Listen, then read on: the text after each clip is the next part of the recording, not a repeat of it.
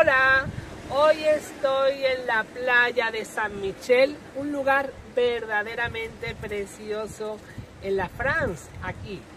Deciros que ahí veréis un islote, una pequeña isla preciosa, donde podemos visualizar al fondo arriba una capilla de San Michel, pequeñita, San Michel está justo arriba, lo podéis buscar en Google para ver imágenes.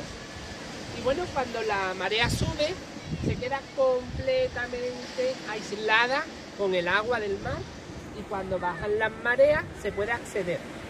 Hemos venido con la marea alta, pero bueno, es un lugar verdaderamente digno de ver. Espero que os guste y luego me voy al Mont San Michel.